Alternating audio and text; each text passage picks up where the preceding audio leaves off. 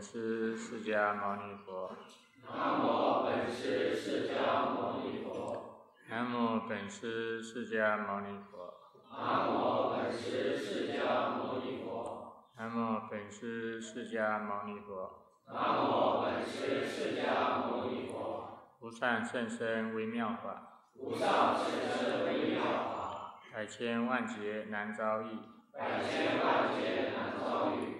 我今见闻得受持。我今见闻得受持。愿解如来真实义。愿解如来真实义。昨天讲到关于沙弥力的威仪这一部分。沙弥力的威仪，主要是通过日常的生活来帮助我们养成身格，通过日常的生活来帮助我们改善行为，改善不良的世俗的。习气和习惯，从修行的意义上来说，其实这个是非常的重要。因为事实上呢，真正的修行啊，就是在生活中，我们的生活，我们的行为。事实上，是带着我们无始以来的生命的不良串习，所以我们的串习和我们的行为、生活方式是紧密的结合在一起。那我们学佛学习了佛法之后呢，我们要改善我们的。生命品质，那么我们必须要从我们的行为中开始调整。我们要培养我们的关照的力量，能够看清楚我们的行为。那么在这个关照的过程中，完成我们的心型的调整。那么今天接下来要讲到位移门的第四第四条，叫入众入众第四。所谓入众，就是作为沙弥如何的进入大众生活的场所，和大众相处。那么这一部分主要是讲的，就是这一方面的规则，不得争坐处，不得一坐上遥相呼以笑。在公共的场所啊，不要争坐处，跟别人去争坐的地方，因为事实上，在一个僧团里边啊，这个座位啊。是要根据就是戒腊，根据戒的级别的高低来决定这个座位的，就是这个前后，前后次第，所以必须要按这样的一个戒腊来安排这个座次，不得于座上。遥相呼以笑，坐着的时候，不要又说啊，又喊啊，又叫啊。出家人的形象特征是什么呢？出家人的庄严是什么呢？你们知道吗？出家人的庄严，出家人的形象特征。是安静，是极静的，我们学佛，我们所追求的境界，所追求的目标是什么？是涅槃。涅槃，事实上就是最高的安静。爱说、爱笑、爱喊，那都是代表着我们内心的一种躁动。你就像这些世俗人在一起啊，吹牛啊，打闹啊，都是一种内心一种躁动的表现。我们出家人在公共场所要保持安静，大家都要看好自己的心，而不是顺着自己的这个习气说啊、笑啊、打闹啊。那跟在家人就没有什么差别了。众中有十宜，当引恶扬善。如果我们看到大众中有哪一个人做的不好的，就是当引恶扬善，不要当面就去指责，因为这种当面指责会意味着什么呢？当面的指责就会引起纷争、斗争、吵架，所以要引恶扬善。我们要去多发现别人的善处，不要多看，不要净看别人的缺点。但是如果确实我们发现了对方有犯戒的行为，当然作为沙弥来说，沙弥是没有资格去检举别人的。就是，当然，沙弥对沙弥，沙弥对沙弥，哎，就是会有建议的这个资格。但是，但是建议别人呢，他需要具备一定的德行，一定的素养，就是要五德。什么叫五德？就是不爱、不会。不不不吃，这个四种德很重要，就是不爱，就是你的内心没有偏爱；不会，你的内心里边没有没有讨厌的情绪；不不，就是不害怕，呃，不会害怕你的建议啊，怕对方什么报复啊，或者因为对方他特别。有地位呀，不不不吃吃就是不宜吃。你的建议啊，确实是正确的。然后知道什么时候我们给别人建议啊，它是有一个时间和场所的问题。知道什么时候该建议，什么时候不该建议。哎，因为僧团需要和谐，所以要尽量要避免这种。是非纷争，不得伐劳贤己之功，就是不可以伐劳，就是称扬自己的能力、功劳，来显示自己比别人能干，不可以这样子的。只要做了事情之后，或者有什么能力。不要爱表现，不要爱表现，爱表现是一种什么表现啊？爱表现就是一种躁动的表现，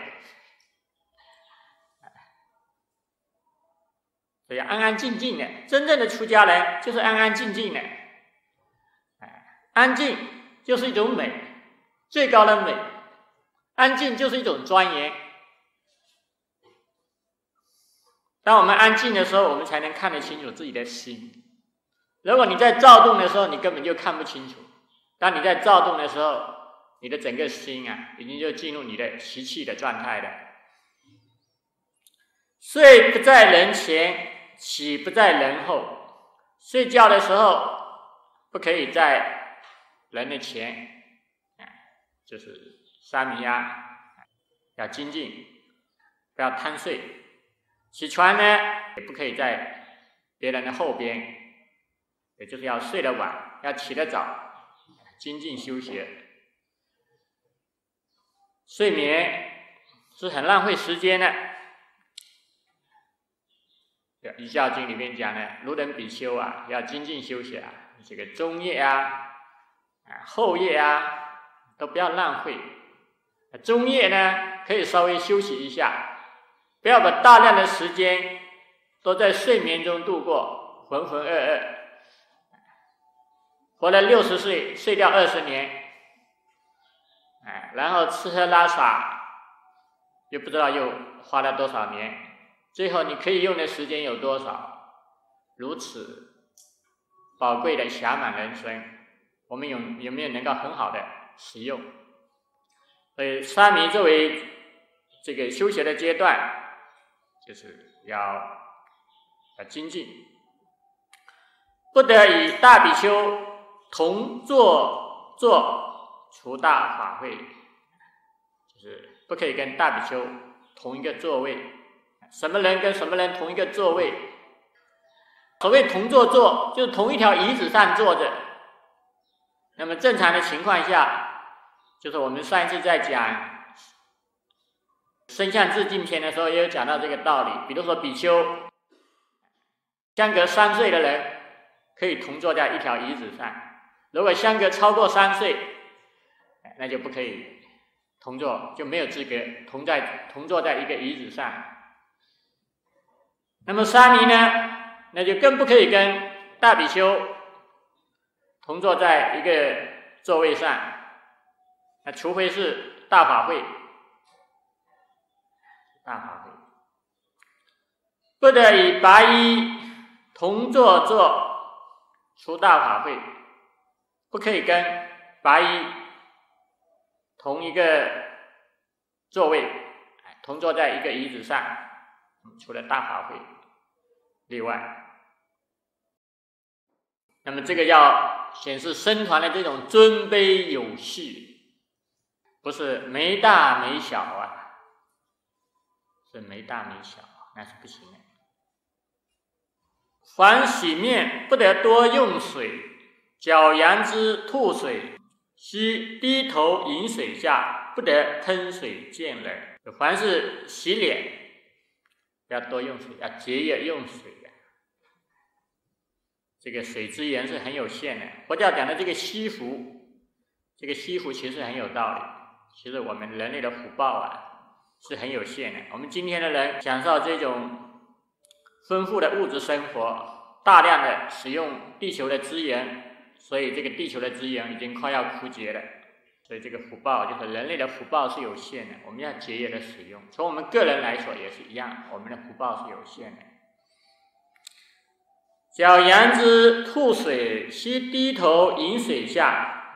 小羊之就是刷牙的时候要低头，尤其我们在公共场所啊刷牙，那头要低下来，不要水水花四溅啊。把水搞到别的人身上，不得高声涕吐，不得于电塔及进食、进地、进水中涕吐，当于必除。涕吐就是吐口水、吐痰啊。这个城市文明里边呢，实际化里边啊，是不是也有这么类似的一句啊？不得随地吐痰。我们现在人很多人都有随地吐痰的习惯，所以随地吐痰啊，这是一种不文明的举动，是一种没有修养的表现，也是一种不卫生的表现。因为我们的痰里边可能会有细菌啊什么，不会这个痰啊，它也会传播传染病的，所以不得高声涕吐。在吐痰的时候还要发出很高的声音，唯恐人家不知，哎，那就比较恶心了，哎，不得于殿塔及进食，不可以在殿塔，在大殿里边，在塔里边，以及在进食，就是干净的环境里边，或者干净的地上，或者干净的水中。剃吐都是不可以的。所以你吐痰的时候，你要找一个偏僻的地方，哎，或者说这个地方很脏。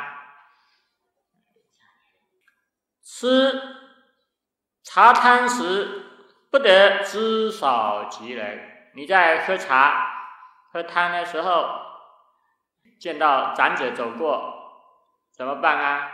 有的时候你可能一一个手拿着碗，一个手就给人家问讯，这样也是不礼貌的。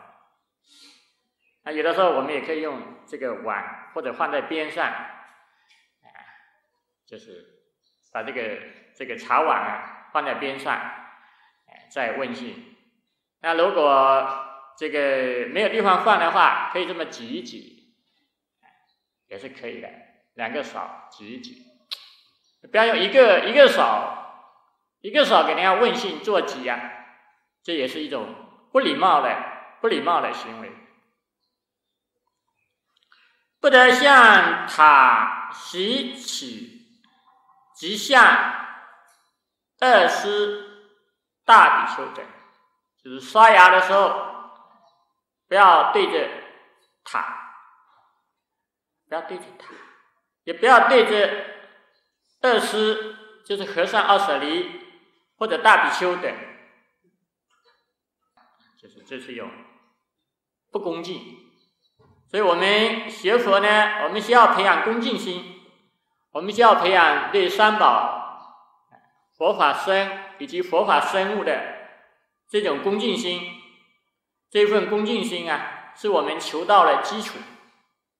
如果没有恭敬心呢，那就代表着佛法僧三宝。在我们大家的心目中已经没有地位，没有分量。我们想一想看，如果我们觉得不重要的东西，它对你会产生影响吗？如果我们觉得不重要的东西，它都不可能对我们产生影响。所以佛法是要从恭敬中求。当我们恭敬的时候，我们的心才是开放的。如果我们不恭敬的时候，我们是心不在此啊。不得多言多笑，若大笑即打哈欠，当以衣袖掩考。话不要太多，哎，话多就是上心杂话，就是一种散乱。哎，话多就是一种躁动，话多就是说明你的妄想多。所以，尤其不要说废话，话多难免会有歧，难免会有两舌，难免会有妄语。所以，出家人啊，要学会少说话，少说话。所以，不得多言，不得多笑，不要多笑。其实，很多时候笑。它也是一种情绪，哎，也是一种情绪。那真正的出家人呢，很安静的心啊，他是没有狂喜，也没有没有喜，也没有忧，它就是一种安静，就是一种喜悦。哎，喜悦是很平静的。你你有没有看到那些佛菩萨们在那里大笑啊？你们有没有看到佛菩萨的像大笑？有没有看到啊？没有啊！活菩萨是几声微笑，全身都是在笑，但这种笑它是很平静的一种笑，它是发自他的这种平静的内心，它是属于一种喜悦，哎，所以就是不要大笑，若大笑即哈欠，如果。这个有的时候控制不住啊，哎，或者打哈欠啊，要用衣袖来把口嘴巴遮住，这样就是比较有修养。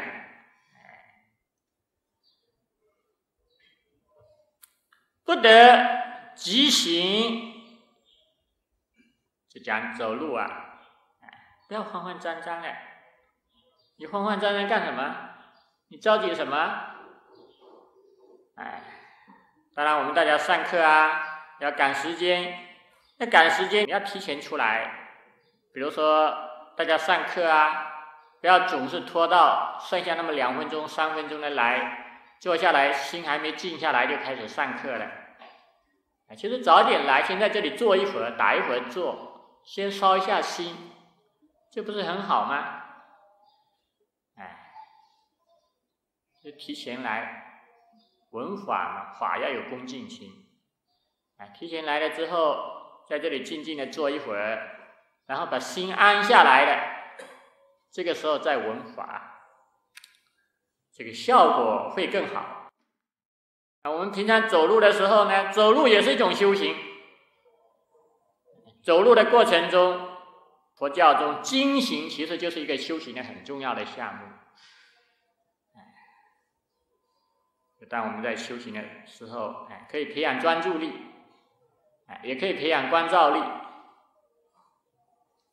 所以走路本身就是一种很好的修行。不得将佛灯。施救己用，就是不可以把佛灯，就是常住点在佛堂、佛菩萨前面的灯，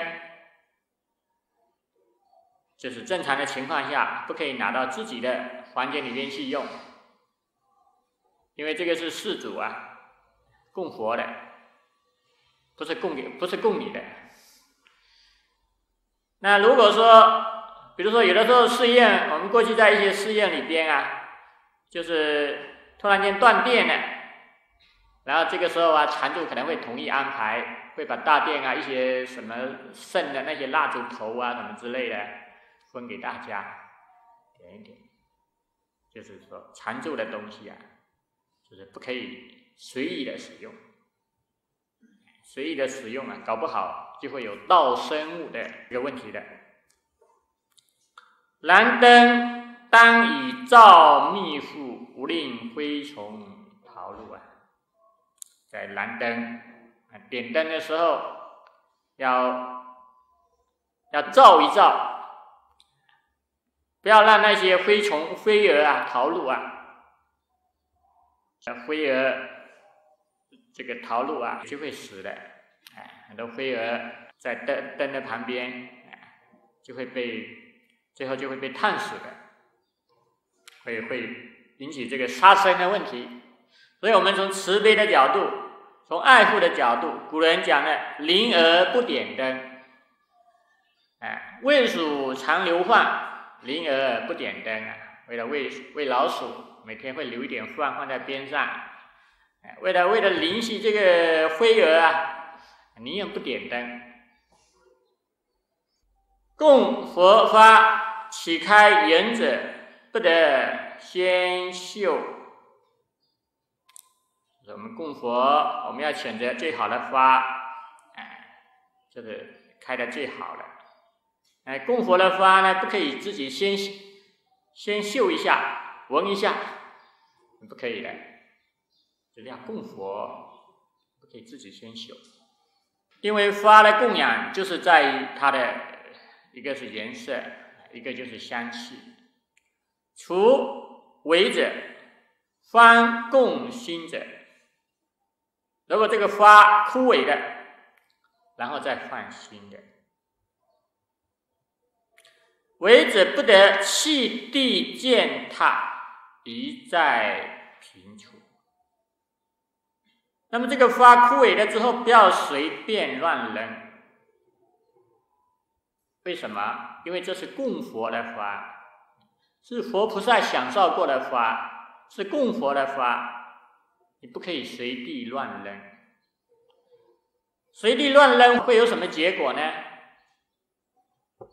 随地乱扔啊，就是会影响到我们对三宝的恭敬心。其实我们对三宝的恭敬心啊。事实上是要靠日常的生活中培养起来的，也就是我们认识到三宝的功德，我们对三宝升起皈依的心。但事实上，三宝在我们的心目中啊，也并不是总是很有有很高的地位，时时都有很高的地位，并不是这样子的。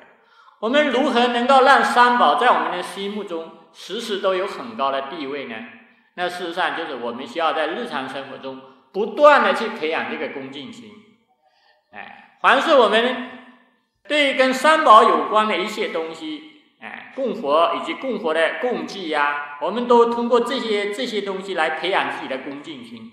当我们对这些升起一种神圣感，升起一种恭敬心的时候，事实上当下在我们的内心里边啊，就是在培养一种恭敬心。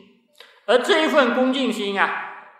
它可以净化我们的内心，所以很多人为什么进进入寺庙，他就会觉得内心很清净；他一回到生活中，他觉得内心就很乱。其实这个清净从哪里来的？是不是因为寺庙的环境呢？如果说说是因为寺庙的环境，为什么很多人，比如说我们现在很多的游客，他进入寺庙，他也没有没心也不会清净。那为什么有一些人进入寺庙心会清净，有一些人进入寺庙心不会清净呢？其实最主要是跟恭敬心有关系。你当你的内心升起强大的恭敬心的时候，当下你的妄想就会被你自己的恭敬心给净化的。其实佛像、殿堂，它只是你升起恭敬心的一个真善缘。所以，真正净化我们内心的是靠我们内心、心灵的一种内在的力量，不是靠一种外在的力量，不是靠一种外在的力量。所以我们希望需要通过，就是这些法物啊，我们要培养恭敬心。所以这些。供过佛的花，我们也不可以随便乱扔乱踩，要把它放到一个比较平处、偏僻的地方。因为大僧给羊脂找水等，随力能为，即当为之，不得偷安。那么作为沙弥，应该要为大僧服务。就是禅宗有很多事情啊，有的事情比丘不适合做了，都要沙弥去做。沙弥所以要勤快，勤快呢，就是帮助我们培植福田。所以要为大僧去准备洗澡水呀，以及大僧这些生活的东西呀，随力能为，即当为之。随你的力量能够做什么，应该去做。不得偷安，不要偷懒。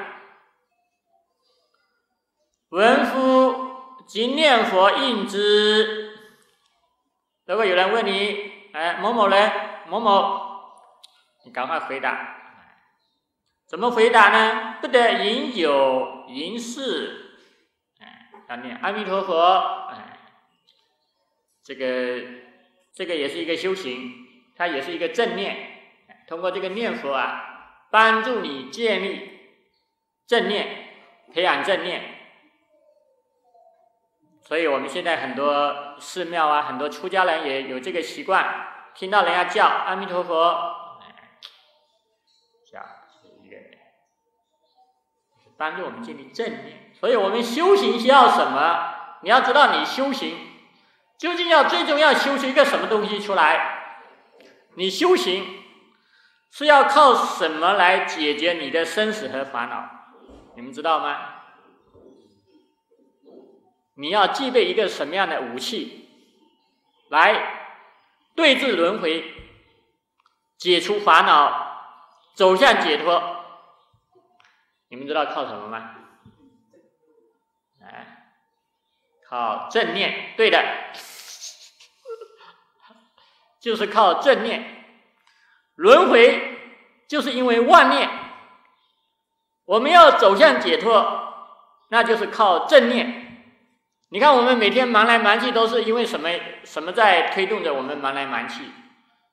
实际上就是念头啊，就是念头啊。世界上的人忙来忙去，就是因为他们的妄念。今天打打一个妄想就忙起来，然后明天又另外一个妄想，每天都在念头里边。忙来忙去。那我们学佛呢，就是需要从这种混乱的念头里面走出来，走向解脱。那你靠什么走向解脱啊？啊，那就是靠正念啊！你要具备了正念之后，你就有能力解除妄念。你要具备了正念之后，这个正念将会成为你的生命的主导力量，它将会。引导着你走向解脱，所以修行最终我们要做的就是建立正念。八正道的最后一个是什么？正定、正念。所以正念很重要。那这种正念的培养，事实上它是要通过生活中哎随时随处的培养。凡拾一物，即当百主事身。凡是捡到东西啊，就要就要要禀告常住课堂，说我今天在东课堂还是西课堂，还是在天王殿门口，还是在大殿门口。捡到一个什么东西，不要捡了就揣到自己的口袋里了。不得与年少人共相结友，就是沙弥呢，不要跟小孩交朋友，因为沙弥本来就是贪玩的，你再跟小孩交朋友，那就一天到晚去玩了。就是这个人一个人在修学佛法的过程中啊。我们要选择善友，选择善知识，这个是我们健康人格想养成的重要的、重要的真善人。你看，过去那个儒家的那个雅圣孟子，当年他的老母亲是怎么教育他的？啊，叫什么孟母三迁啊？孟母三迁。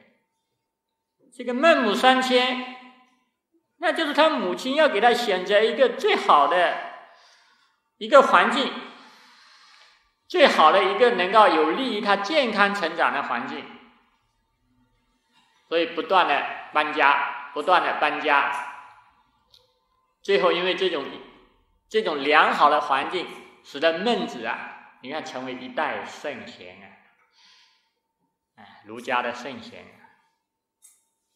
那就是我们在成长的过程中，我们要选择选择善友，选择善知识作为我们的同道，在修学的路上互相勉励。过去叫做同参道友啊，你们找一个同参道友，跟着我们互相提携，这是很重要的。所以不要总跟一些不如你的人来往。当然，如果你已经修学的比较好了，你从慈悲心的角度，你要去帮助那些这个程度比较差的、品行比较差的，那是另外一回事。但是如果在你的身格没有养成之前，在你的见地没有形成之前，那你可能还是应该多亲近善知识。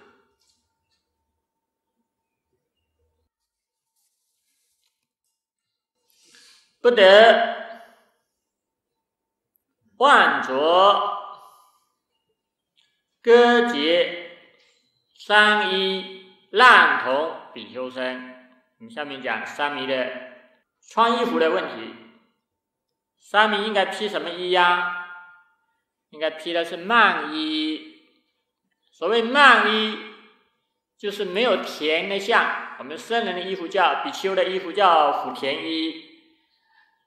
这个福田衣呢，比如说五一是一长一短啊，七两长一短，然后呢大一那就是一般有的是四长四长一短，那么这个就构成了田相，造成了他的田相，所以叫虎田啊。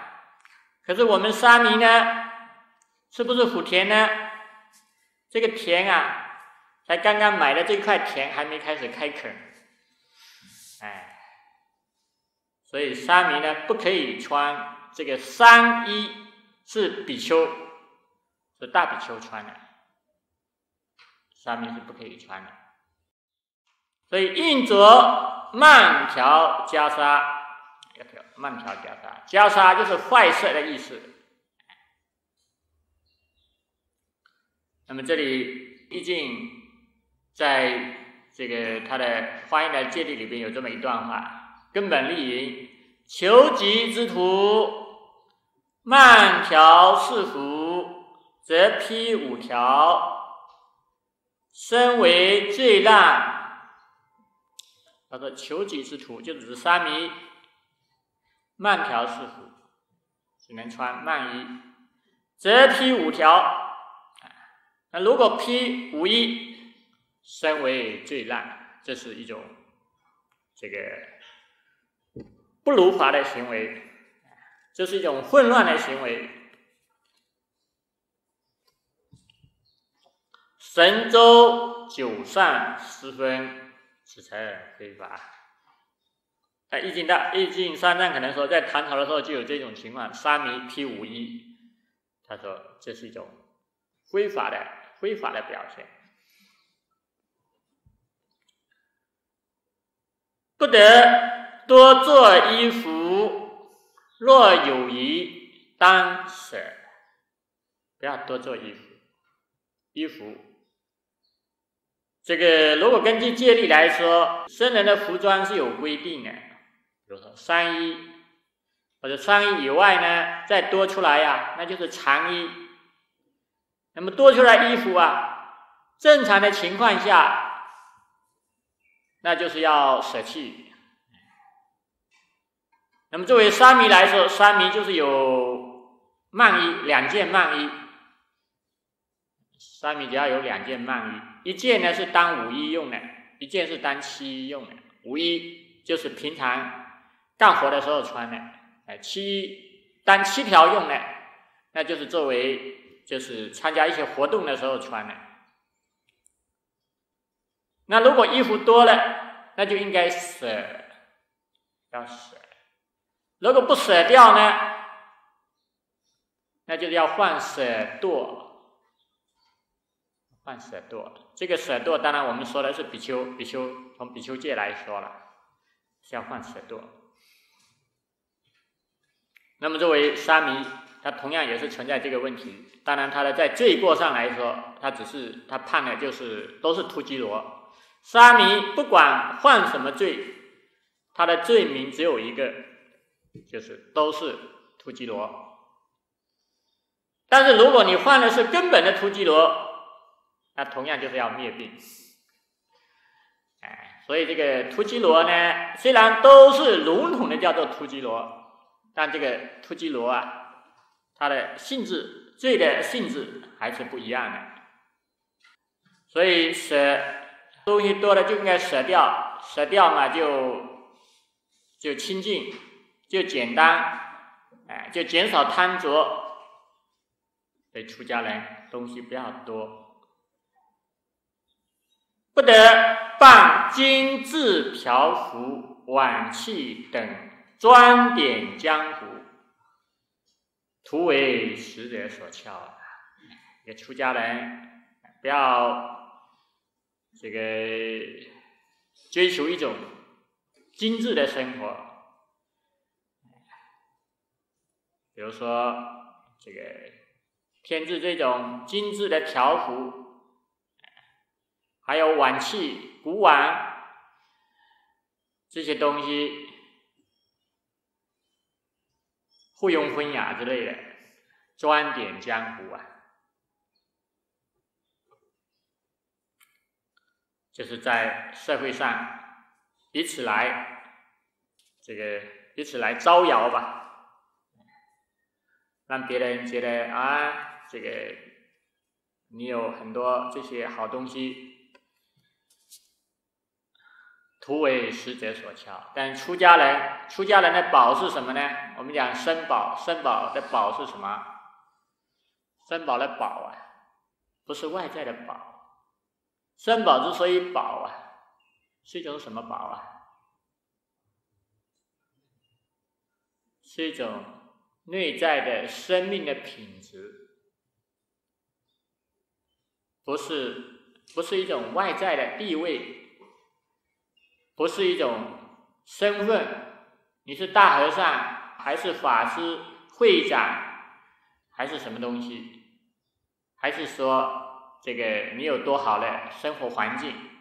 这些东西都不应该是出家人所追求的。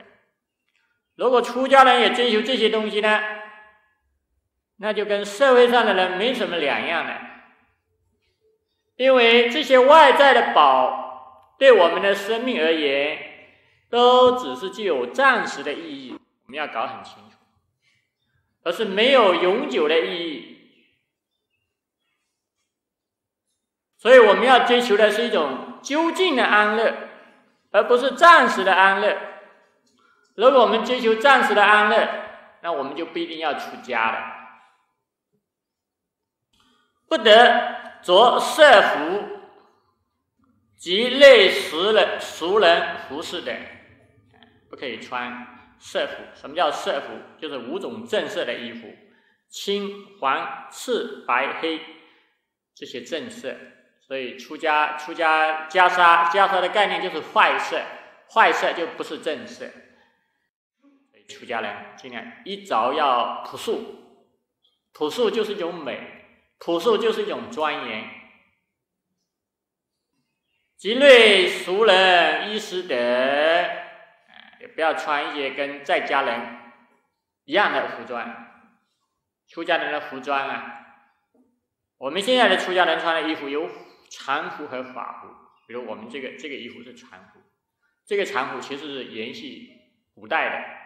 古人，古人的衣服可能时代还有一些改造，那跟现在的在家人穿的衣服就完全不一样了，所以它还是有别于在家人。我们现在穿的这个大褂，基本上已经成为这个出家人的象征了。但是真正的法服呢，事实上是袈裟，袈裟才是我们真出家人。特有的衣服，不得用丝绢、丝细绢帛、三尺泛制，不可以用丝细绢帛啊，丝就是用丝棉，出家人不要用这些什么丝棉啊、什么皮革啊、什么之类的，像皮革。当然，如果说在天气特别寒的地区，佛陀也是有开启的。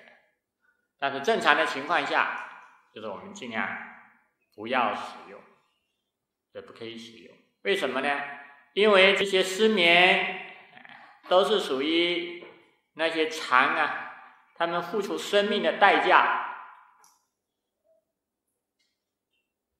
那些虫啊，付出生命的代价的。所以我们享受这样的一些物质条件，是有三慈悲，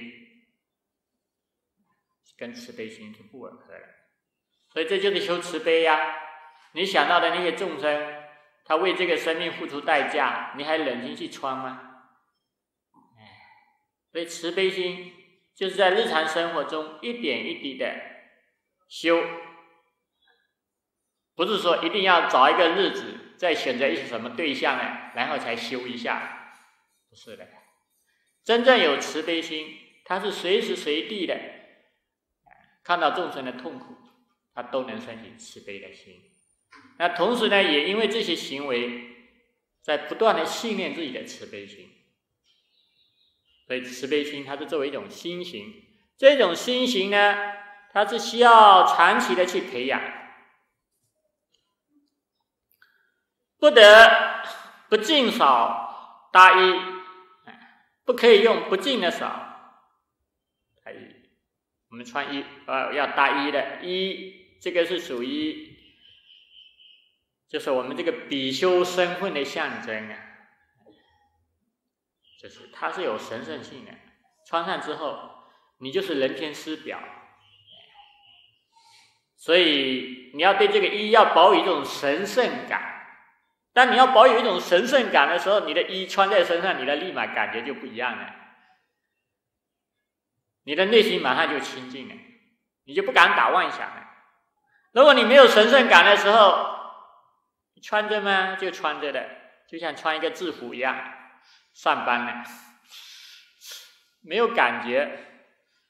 你看那些赶经唱的人，什么穿衣啊、搭袍啊，然后包括在念经啊，这都不认真，就是他没有，因为他内心里面没有神圣感，因为没有神圣感呢，那么穿上这个衣服。他照样烦恼，照样散乱。但是如果我们有神圣感呢？当我们这份神圣感升起的时候，我们内心啊一下子就清净了，就清凉了。所以神圣感会使我们的内心清净和清凉。所以不是佛菩萨要需要你把你对他升起神圣感，不是佛菩萨有这个需要，而是我们自己的修行有这个需要。我们大家要知道。我们必须要知道这种心理的这个原理。你了解了这个心理原理之后，你就会知道我们现在这些这些修行的意义。不得做事大众劳务，必懒偷安。不能看着大众在干活的时候，你坐着；别人干活，你要勤快。你要赶快去，大众在干活的时候，你要去，去去参加，不要偷懒。偷懒就是一种懒惰，懒惰懈怠，其实这也是属于一种随烦恼的心理。我们平常讲的这个懈怠，懈怠其实就是包含着人，人有一种惰性，惰性啊，什么叫惰性呢？惰性事实上也就是代表着我们经常会进入到一种不良的情绪里、不良的习惯，堕在一种不良的习惯里边。比如有的人爱睡觉，他每天就想睡觉，他懒得动，那这就是一种惰性。那这个贪吃啊、贪喝啊，也是一种惰性，因为贪吃贪喝也是一种不良的习惯。当一个人堕在这样的一种不良习惯里面的时候，他每天就会想到的就是吃喝，除了吃喝以外，那别的东西他都不感兴趣。有的人喜欢赌博，那赌博就是一种不良的惰性。那一个人进入到这种不良的惰性的时候，那他每天想到的就是赌博，不想干别的东西。所以叫惰性，就是你的心堕到一个不良的习性里边去，这叫惰性。这个惰性是很可怕的。哎，我们如果不能从这样的一些惰性里边走出来呀，我们的修行、我们的解脱就没有希望。我们将会成为我们惰性的牺牲品。因为事实上，我们无始以来为什么一直在轮回中受苦？事实上，原因就是因为我们一直都在这种不良的惰性里边轮回，走不出来。如果我们现在如果不想通过努力的修行走出来呀，我们还要继续的在这些不良的惰性里，所以不可以有这种惰性，不得私起常住竹木。花果、蔬菜、一切饮食、一切器物等，或自用，或做人情，就是常住东西。常住物就是生物，生物呢，个人不可以私自的随便拿，常住物不可以随便拿的。如果随便拿的话，那就是会犯这个犯道。所以不可以随便拿常住自己自己用，或者做人情，哎，犯道的行为，这个罪过是很重的。不得谈说朝廷公府政事得时，及白衣家好恶长短。就作为一个出家人，哎，我们平常世俗人啊，我们都有这个习惯，东家长，李家短。哎呀，这个政府啊，什么金融风波啊，什么总统选举呀，哎，你看这个我们平常那些在家人要在一起啊，他就是讲这些东西，其实跟他有什么关系呢？他就是他关心，他无聊，仅此而已。那么，作为我们出家人来说，如果我们的心不在道的话，我们的心也会去攀岩这些东西。然后攀岩了之后呢，我们就会不停的在说这些东西。那事实上，说这些东西啊，它只是会增增加我们的散乱心，不利于我们的解脱。不利于我们的修行，甚至因为我们说这些东西会引发我们的一些情绪啊、烦恼啊，所以不利于我们心的安静。所以出家人呢，我们正常的情况下不去说这些东西的。通常如果别人说呢，我们就静静的坐在旁边听一听，不要去参与，不要参与呢，去说了也很来劲呢。别说的比人家在家人说的还来劲，那就不像出家人。我们就讲佛法，当然我们可以从佛法的角度对这些问题做一些评论。我们不要单纯的去讲这些东西，别人说什么我们就在听，听着听着，对方如果需要我们说的时候，我们就从我们的佛法的角度谈一些自己的看法。正常的情况下，我们是不说的。要养成习惯，哎，一个习惯好的习惯，就是出家的这种身格，就是慢慢就是要这么去培养的。凡自称单己二字法名，哎，称自己要说这个某某自己称自己的法名，不得言我，言巧生，言某甲，哎，不可以说我。或者小声，小声也不可以说。这小声，这个声，这个声是一个团体。正常的情况应该是四人成声，哎，它本身是属于一个和合众的，它是属于一个团体的称呼，不是一个个人的称呼，所以不可以说小声，不得因巧事争执。不可以因为一点小事啊就争吵、吵闹，就是不要吵架。若大事难忍者，亦须心平气和，以理论辩，不可择持而起。如果是因为比较重大的事情，一时忍不下来呀，那你也要心平气和，不要吵架打架。这个素质就太低了。出家人呢还吵架打架，我们的研究所啊，就不允许发生这种事情。啊，发生这种事情啊，就要起当开除。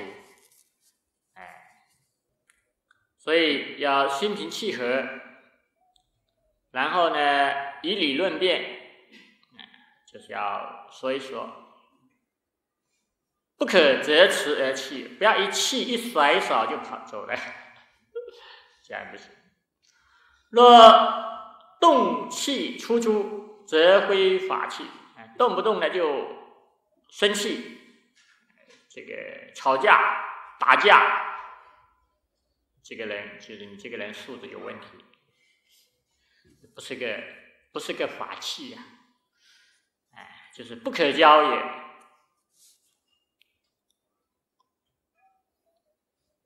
若为生智，闻白纸，不得抗拒不服。如果沙弥违背了生字，然后呢，这个僧团要对他进行处罚，那你必须要悉心接受，不可以抗拒不服，要服从僧团对你的制裁。